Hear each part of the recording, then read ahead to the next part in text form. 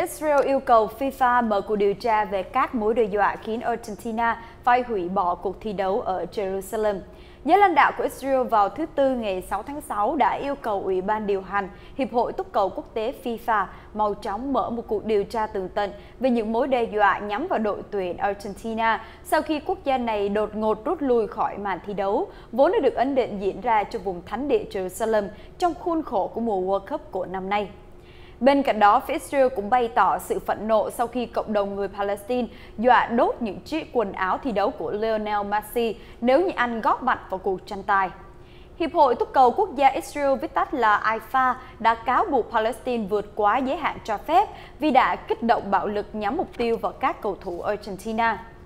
Chính quyền Palestine nói rằng họ cảm thấy bất bình khi mà Israel ngang nhiên dời địa điểm thi đấu sang Jerusalem trong bối cảnh đây được xem là một nỗ lực nhằm để tuyên bố chủ quyền tại vùng thánh địa linh thiêng nêu trên. Căng thẳng đã leo thang trong khu vực Trung Đông, đặc biệt là ở giải Gaza và vùng Tây Ngạn kể từ khi mà nhà lãnh đạo Hoa Kỳ Donald Trump chính thức thừa nhận vùng thánh địa Jerusalem là thủ đô của Israel. Chính quyền Washington cũng đã chuyển tòa đại sứ của họ từ thành phố Tel Aviv sang Jerusalem vào tháng 5.